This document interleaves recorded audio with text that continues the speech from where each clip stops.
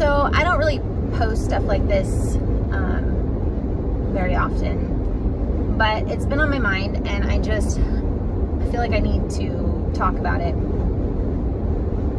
Um, so in the Sleepy Serum, which is what I've decided to call it for video purposes, uh, when the Sleepy Serum came out originally, we were told that it was going to be either a one or two part series, depending on the brand that you chose to go with. And that after receiving the one or two doses, that you would be covered and, and you'd be doing what's right for your communities and protecting your loved ones. And, you know, everybody was lining up and happy to do it, posting their pictures on social media with their card feeling like they were doing the right things for their communities. And I think genuinely that's what we all want, right? We most the majority of us want to do what we need to do to protect our loved ones. So it makes sense. However, uh, fast forward from the beginning of all of this, we now have several boosters that are out and we're being told that in order to maintain therapeutic range, in order to maintain the proper amount of antibodies to protect ourselves and protect our loved ones, that we need to continue to get these boosters.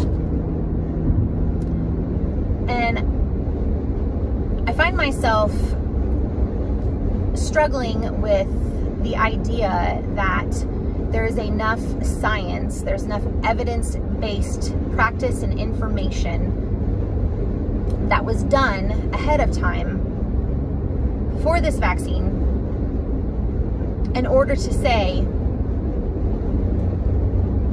that that taking more doses is, is the right answer. And Taking more doses is what's going to keep us protected because when it came out, we were told one or two. So at what point in time did that change?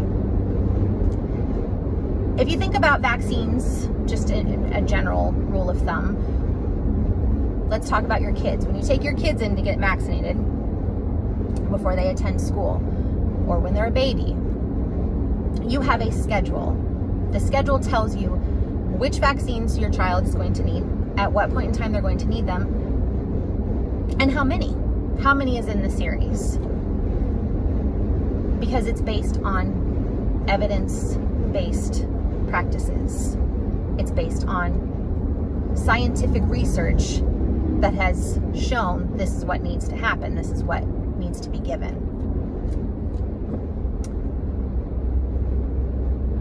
But we're not at that point with the sleepy serum, clearly, because if we were, we wouldn't have so many boosters coming up, right? We would have known about those. We also need to look at the fact that some people aren't qualified for certain vaccines or certain medications based on their pre-existing conditions or their allergies to different things. And so not everybody is a good candidate for everything on the market. So why is it that we are not looking at this as well with the sleepy serum? Why are we telling people? Why is the top of the food chain, as I like to call them, the one percenters, making all the shots, making all the calls here? Why are they saying that this is what every single person needs to do in order to have your freedom, in order to keep your job, in order to travel? That doesn't make sense. Especially considering the fact that we went from one or two in order to be protected to three, four, five. There clearly isn't enough information. There clearly is not enough scientific proof to back what we are being told, to back what we are being fed. So I encourage you to think about that. And I encourage you to turn off your televisions. Stop listening to the the lies and the garbage that you're being fed. Take off your mask, go outside, breathe in the fresh air, And you know what? Let's stand together. Let's say enough is enough. Because, yes, the one percenter, the one percenters at the top, the top of the food chain, the ones calling all the shots here, they are running things with fear. But there's more of us than there is of them. And if you think about it, the only reason why they have food on their tables is because of us. We, the people, are the ones that keep this country running. And what kind of world do we want to leave for our children, for our grandchildren? We have to think about that. And regardless of where you sit politically, means absolutely nothing to me. What means something to me is that we stick together and stop letting this divide us.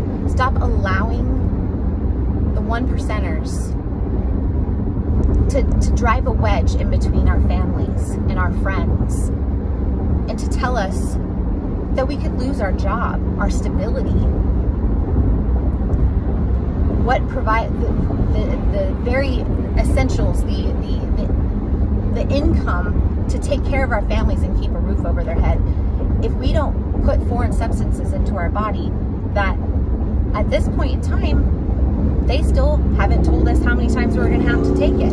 So either they're not telling us, they're not giving us all the information, and they know how many times we're going to have to do it. Just don't want us to know. Or there isn't enough evidence. There isn't enough scientific proof to say, just like every other vaccine on the market, this is how many doses you're going to need. This is the time frame that you're going to need them in order to have antibodies, in order to be immune. So let's stand together because no one's going to fight for us but ourselves. It's on us. Have a great day.